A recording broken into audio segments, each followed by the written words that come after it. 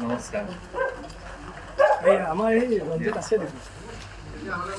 আমাৰ ঋষিদা দেই চিনি পাইছে দেখি আছে। আমি তেখেতে মানে আমি আম আদমি পাৰ্টিৰ ফালৰ পৰা আহিছোঁ আম আদমি পাৰ্টিৰ ফালৰ পৰা নামটো শুনিছে চাগে আম আদমি পাৰ্টিৰ আম আদমি পাৰ্টীৰ অৰবিন্দ কেজৰিৱাল ডাঙৰীয়াই আপোনালৈ এখন চিঠি পঠাইছে এইখন পঢ়ি চাবলৈ দিছে পঢ়ি চাবলৈ দিছে সেইকাৰণে আপোনালোকে আমাৰ এতিয়া ইয়াত যিবিলাক চৰকাৰ চলি আছে দিল্লী আৰু পাঞ্জাৱত আমাৰ আম পাৰ্টীৰ চৰকাৰ চলি আছে। সেই চৰকাৰবিলাকৰ ডিফাৰেঞ্চবিলাক দেখুৱাইছে। আপোনালোকৰ ইয়াত কাৰেণ্ট ফ্ৰী হয় নেকি? কাৰেণ্টৰ পে'মেণ্ট হয় দামটো দিব নোৱাৰে। আপোনালোকক যিকেইদিন এইখিনি কথাখিনি বুজোৱা হৈছিলে কেনেকৈ দিল্লী আৰু পাঞ্জাৱৰ ৰাজনীতি সলনি হৈছে সাধাৰণ মানুহে যিখিনি মন্ত্ৰী বিধায়কে পোৱা সুবিধা সাধাৰণ মানুহৰ মাজলৈ লৈ আহিছে সেই নেতাজন অৰবিন্দ কেজৰিৱাল। আৰু তেখেতৰ আদৰ্শৰ ওপৰত আপোনালোকে আগবাঢ়ি পেলাই আজি আম আদমি পাৰ্টীত যোগদান কৰিছে।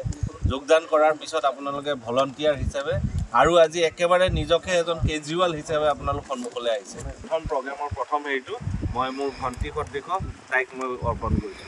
আম আদমি পাৰ্টি! আম আদমি পাৰ্টি! কেজৰিৱাল! কেজৰিৱাল! আম আদমি পাৰ্টি চেঞ্জ কৰিবলৈ আহি আছে।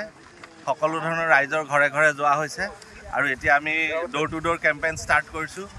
এতিয়া যিটো অসমতো কেজৰিৱাল অসমতো কেজৰিৱাল এটা এনেকুৱা ধৰণৰ কথা য'ত মানুহে জানিবলৈ বাধ্য হ'ব যে অৰবিন্দ কেজৰিৱালদেৱ নিজেই যেন তেখেতৰ ঘৰলৈ আহিছে। সেই ধৰণৰ এটা কেম্পেইন ষ্টাৰ্ট হ'ব।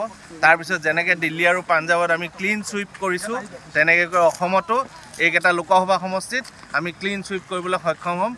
কাৰণ কি এতিয়া অসমত অৰবিন্দ কেজৰিৱালদেৱৰ পাৰ্টি যেতিয়া আৰম্ভ হৈছে আম আদমি পাৰ্টি তেখেতসকলে নিজৰ কেণ্ডিডেট সলাই দিবলৈ বাধ্য হৈছে ভাৰতীয় জনতা পাৰ্টীয়ে। ভাৰতীয় জনতা পাৰ্টীৰ ৰঞ্জিত দত্ত ডাঙৰীয়া যেতিয়া সভাপতি আছিলে সেইটো সময়ত মই বিজেপি যুৱ মৰ্চাৰ ছেক্ৰেটেৰী আছিলোঁ।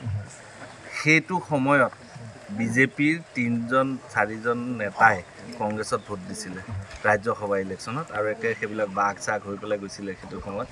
আৰু সেইবিলাক দেখি পেলাই তেওঁলোক একোজন সফল সভাপতি। আৰু ৰঞ্জিত দত্ত ডাঙৰীয়া শোণিতপুৰ জিলাৰ পৰা মন্ত্ৰী আছিলে। তেখেতে এম এল এ থাকিলে মন্ত্ৰী থাকিলে। কিন্তু কোনটো এনেকুৱা জ্বলন্ত নিদৰ্শন যিটোৰ বাবে ৰঞ্জিত দত্ত ডাঙৰীয়াক ৰাইজে ভোট দিব তেওঁ এনেকুৱা কি কাম কৰি থৈ গৈছে যাৰ কাৰণে ভোট দিব? আৰু নতুন মুখৰ কথাটো হৈছোঁ ৰাইজে নতুনত্ব বিচৰা হৈছে আৰু পুৰণা চলা কাম নিদিয়া হৈছে ৰাইজৰ। আৰু যদি সেই ক্ষেত্ৰত আমি আশাকৰ্মীৰ কথাই চাই লওঁ তেতিয়া আমাৰ আশাকৰ্মীসকলে ডিমাণ্ড কৰি আছে তেখেতসকলে বিচাৰিছে যে তেখেতসকলৰ মাহিলী যিটো বেতন হয় পোন্ধৰ হাজাৰ টকালৈকে হ'ব লাগে। কিন্তু আমাৰ অসমত বৰ্তমান আশাকৰ্মীসকলে ইমান কষ্ট কৰি থকাৰ স্বত্তেও অকল তিনি হেজাৰ টকাহে বেতন তেখেতসকলে লাভ কৰে।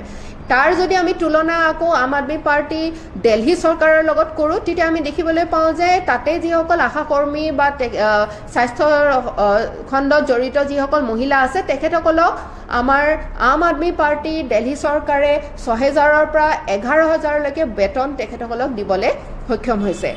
আৰু আমি দেখিবলৈ পাওঁ যে যিমান চিটি বাছেছবিলাক আছে যিমান চিটি বাছত মানে মহিলা তাতে যিসকল যাত্ৰী আছে তেখেতক তেখেতসকলৰ কাৰণে সম্পূৰ্ণৰূপে মাচুল মুফ্ট হয় ফ্ৰী হয়। কিন্তু আমি তেনেকুৱা ধৰণৰ অসমত কোনো ধৰণৰ যোজনা বা মানে স্কিম আমি দেখিবলৈ পোৱা নাই।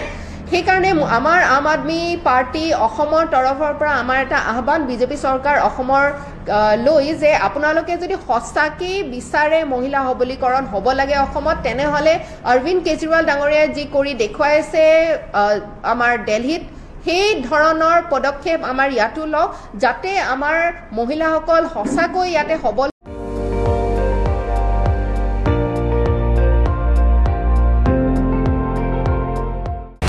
আপুনি চাই আছে এন ডি টুৱেণ্টি ফ'ৰ। সৰ্বশ্ৰেষ্ঠ নহয় সৰ্বোত্তমৰ দৌৰ